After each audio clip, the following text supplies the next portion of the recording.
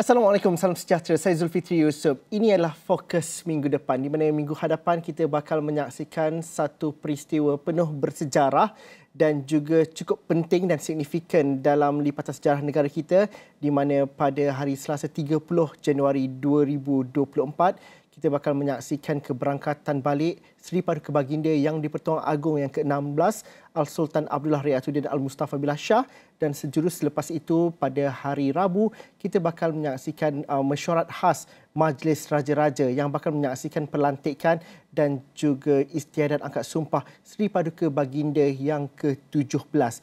Dan ini cukup menarik untuk kita lihat kerana sistem pemerintahan dan juga penggiliran yang di Pertuan Agong dan juga institusi yang di Pertuan Agong itu cukup signifikan dan cukup unik buat negara kita dan juga satu-satunya di peringkat dunia.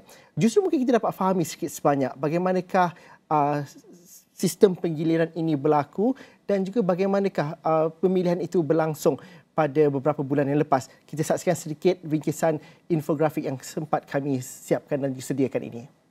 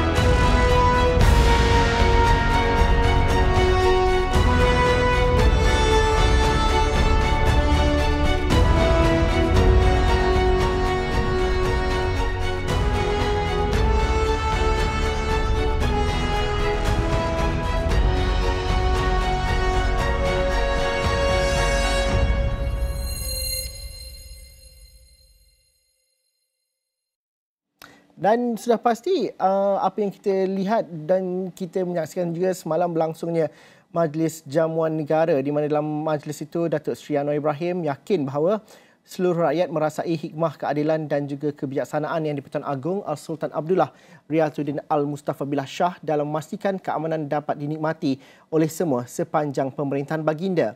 Perdana Menteri berkata keprihatinan Al-Sultan Abdullah dan Raja Permaisuri Agong Tunku Azizah Aminah Maimunah Iskandariah terhadap kebajikan rakyat jelata juga melangkaui batasan biasa antara raja dan rakyat. Jelasnya bermula dengan ketidakstabilan dan simpang siur politik yang berpanjangan, penularan serta hentakan pandemik COVID-19 dan kelesuan ekonomi silih berganti telah meletakkan negara dalam ketidaktentuan dan kegawatan. Namun baginda telah menyempurnakan amanah pemerintahan dengan sempurna melalui sifat-sifat yang merakyat serta istiqamah menyelami denyut nadi rakyat jelata dalam memastikan keamanan dan kesejahteraan terus diutamakan dalam sebarang keadaan.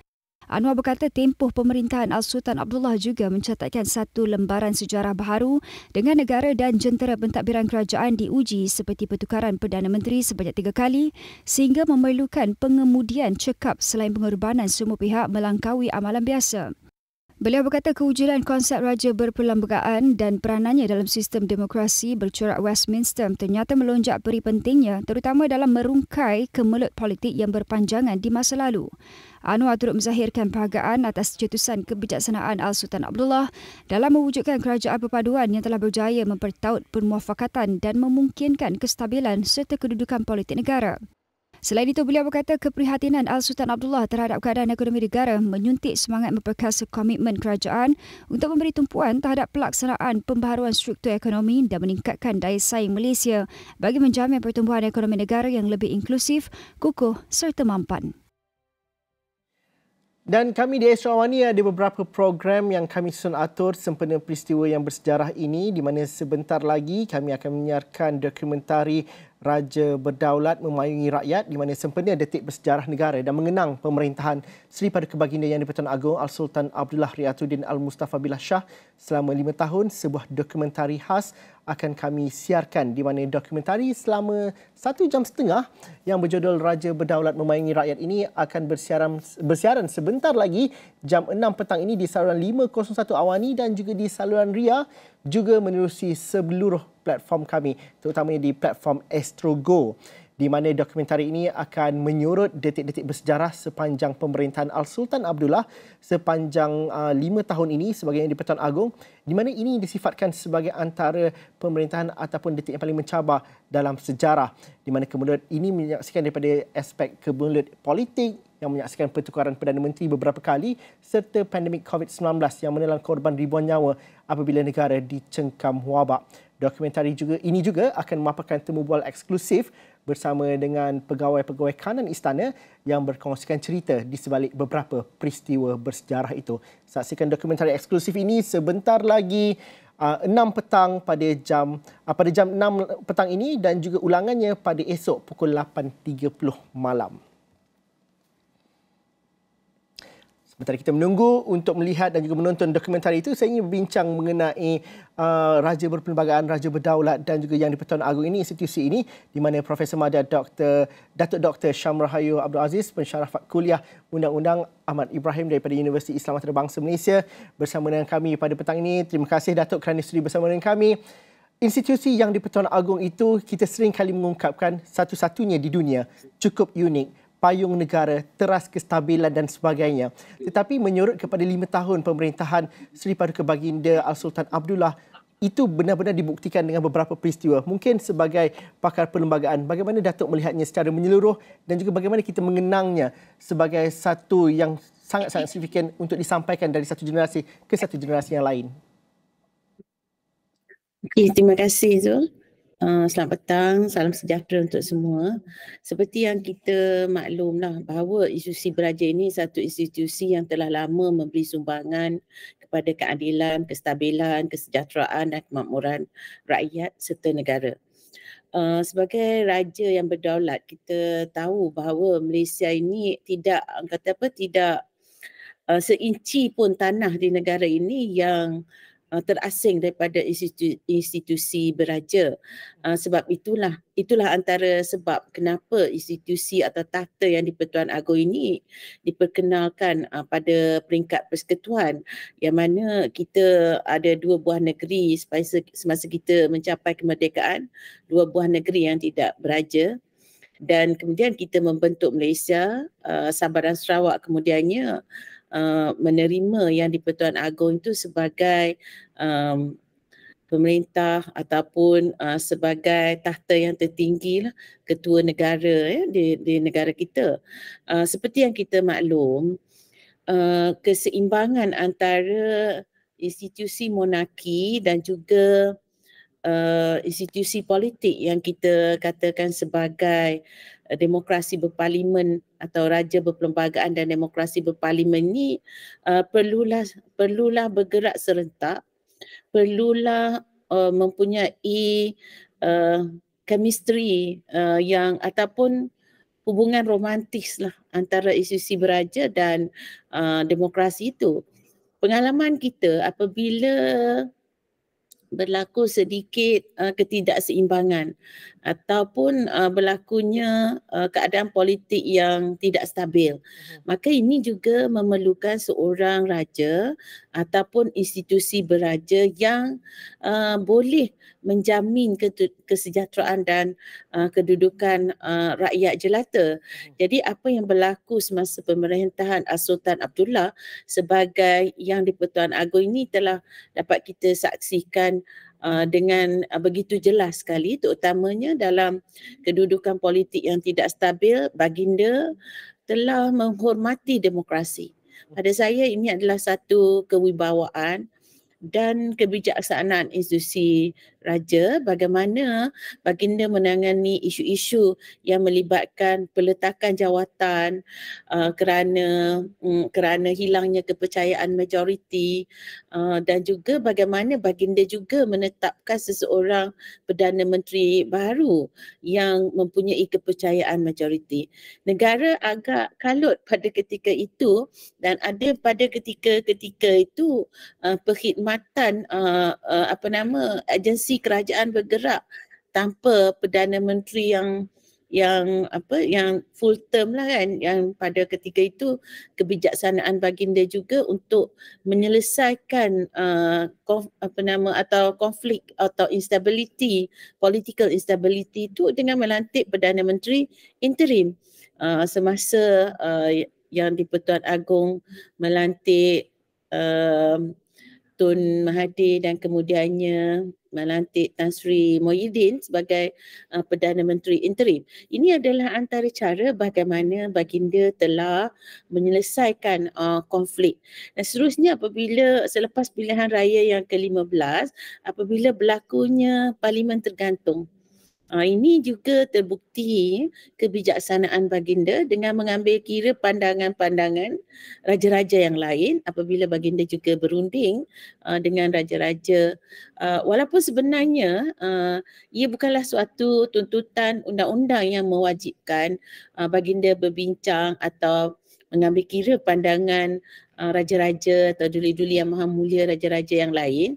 Tetapi atas kebijaksanaan baginda dan ini adalah tradisi warisan iaitu untuk bermusyawarah uh, dengan uh, ketua-ketua bagi negeri untuk memastikan bahawa apa yang berlaku pada peringkat persekutuan ini juga diterima dengan baik oleh uh, duli-duli yang maha mulia raja-raja dan juga kerajaan-kerajaan bagi negeri. Jadi tertubuhnya kerajaan selepas pilihan raya ke-15 dan kekal sehingga kini juga adalah antara sumbangan yang telah disampaikan oleh ataupun telah dilaksanakan oleh baginda. Uh, Datuk, mungkin kita dapat fahami juga. Uh-uh, uh-uh. Mungkin kita dapat fahami juga. Mungkin tiada satu guideline, tugasan dan juga uh, tanggungjawab yang di Pertuan Agong itu. Tetapi uh, Seri Paduka Baginda uh, memiliki kebijakan untuk menentukan bagaimanakah tindakan dan juga cara pemerintahan itu dilakukan. Bagaimana kita melihat bahawa ada dahulu ada yang mengatakan bahawa uh, institusi diraja ini mungkin uh, tidak tidak uh, tidak dilihat kepada uh, bagaimana dinamik uh, tidak begitu dinamik dan sebagainya. Tapi itu dibuktikan salah tanggapan-tanggapan seperti itu. Bagaimana kita memahami uh, pandangan uh, daripada Datuk sendiri? Uh-uh. Uh, saya melihat kepada kebijaksanaan baginda untuk menterjemahkan uh, peruntukan perlembagaan atau uh, melaksanakan peruntukan perlembagaan. Ya betul, tak ada orang kata apa. Uh, bila kita kata yang di Pertuan Agong adalah ketua utama negara atau the supreme head of the country of the federation. Apa sebenarnya tanggungjawab seorang ketua negara? Di sini kita lihat bagaimana uh, kedaulatan institusi beraja itu telah menonjolkan uh, peranan seorang ketua negara.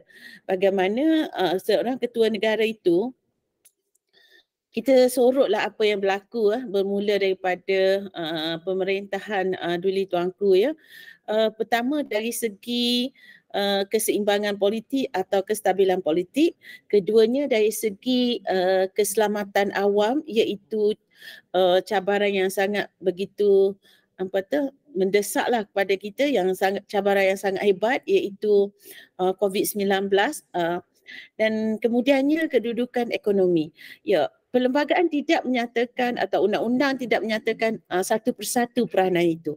Jadi untuk menjaga keselamatan negara, kesejahteraan negara, kedaulatan negara eh, satu dan keduanya dari segi menjaga uh, kesejahteraan dan kemakmuran rakyat jadi ini adalah dua peranan yang tidak tertulis tapi difahami oleh baginda dengan cara baginda mentafsirkan uh, peruntukan perlembagaan dan melaksanakannya dalam realiti uh, masalah sebenar yang dihadapi oleh negara.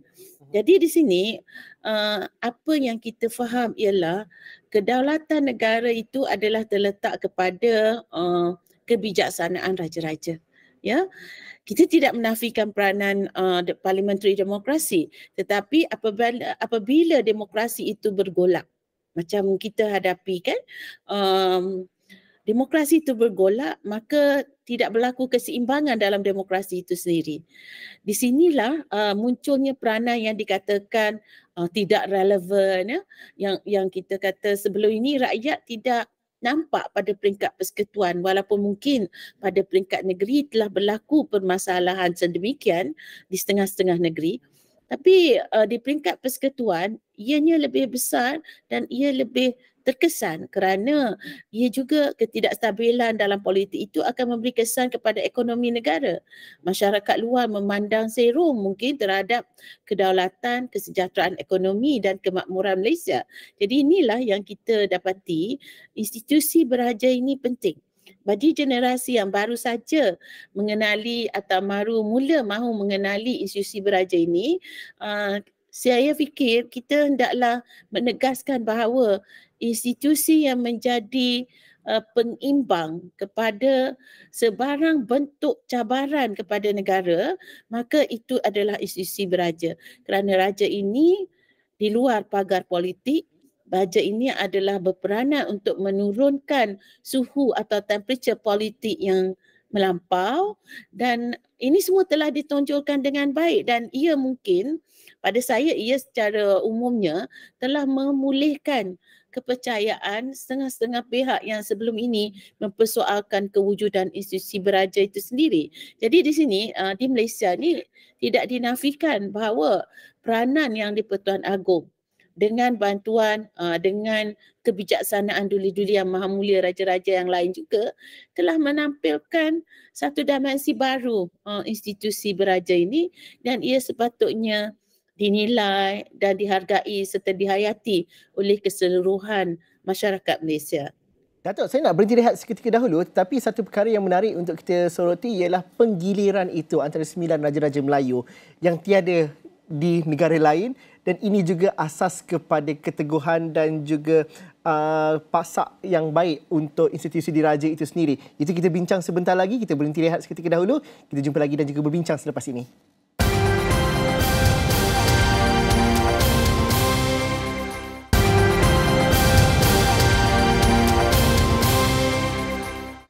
Selasa dan Rabu depan kita bakal menyaksikan satu peristiwa yang cukup menarik dan juga cukup bersejarah di mana Seri Paduka Baginda, Raja, uh, Seri Paduka Baginda uh, yang di-Pertuan Agong ke-16 Al-Sultan Abdullah akan berangkat balik ke negeri Pahang selepas tamat pemerintahan selama lima tahun. Dan seterusnya pada hari Rabu kita bakal menyaksikan keberangkatan tiba uh, Sultan Johor uh, yang bakal bersemayam di Istana Negara untuk memulakan tempoh pemerintahan selama lima tahun sebagai Yang di-Pertuan Agong yang ke-17. Profesor Madya Dato' Dr. Syamrahya Abdul Aziz, pensyarah kuliah Undang-Undang uh, Ahmad Ibrahim Universiti Islam Antarabangsa Malaysia masih lagi bersama dengan saya. Datuk, mungkin kita dapat fahami bahawa pemilihan penggiliran yang di Pertuan Agong itu cukup unik sekali dan ini memberikan peluang kepada uh, setiap raja-raja Melayu, sembilan raja-raja Melayu itu untuk uh, bergilir dan juga dalam masa yang sama ini satu konsensus yang difahami dan juga disepakati uh, sejak kemerdekaan Malaysia. Dari segi sejarah, daripada segi kelangsungannya, bagaimana kita menilai dan juga memahami pertukaran dan juga penggiliran ini uh, dalam konteks yang lebih besar? Uh, Pertama, sudah sebut tadi bahawa ini menunjukkan konsensus ataupun muafakat yang dibuat oleh uh, Raja-Raja Melayu dan harusnya muafakat ini menjadi panduan uh, kepada pemimpin politik atau pemimpin masyarakat.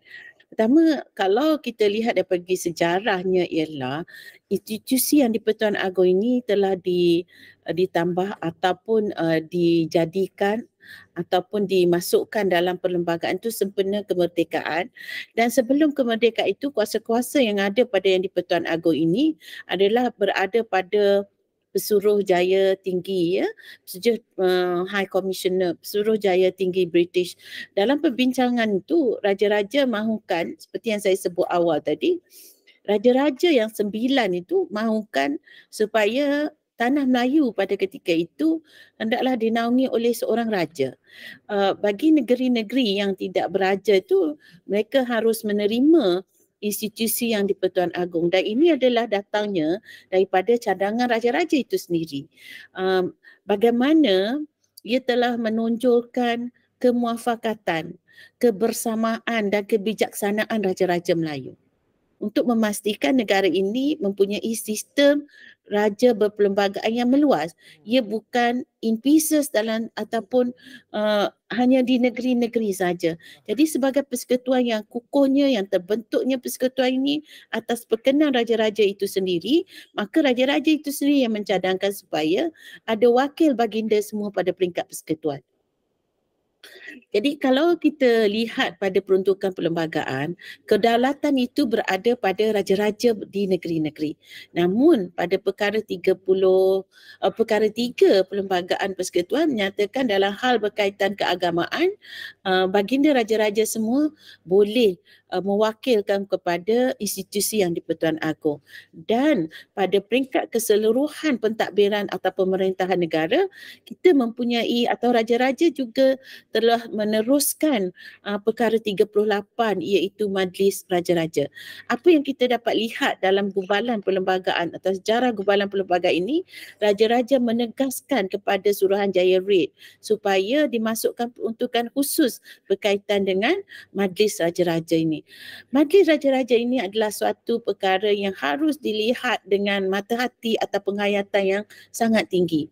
Oleh kerana British tidak memenuhi tuntutan Raja-Raja Melayu uh, selepas pembinaan atau penubuhan uh, negeri-negeri Melayu bersekutu, maka tertubuhnya uh, Durba pada awalnya dan kemudiannya diiktiraf oleh undang-undang secara ringkasnya saya sebut di bawah perkara 67 hingga 76 pada perjanjian Persekutuan Tanah Melayu 1948.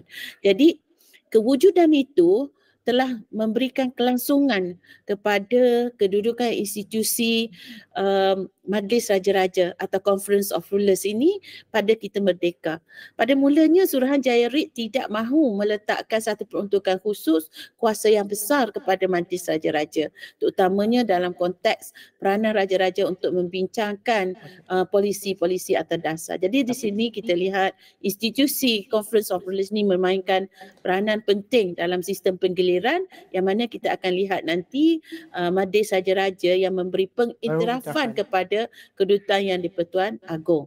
Itu yang bagi kita saksikan. Uh, itu yang bakal kita saksikan pada hari Rabu nanti. Ya, betul. Datuk, banyak yang betul. kita ingin bincangkan tapi kita simpan dulu kerana ini juga bakal kita soroti sepanjang minggu depan. InsyaAllah kita akan jemput lagi Datuk dalam mungkin dalam agenda awal atau program-program lain.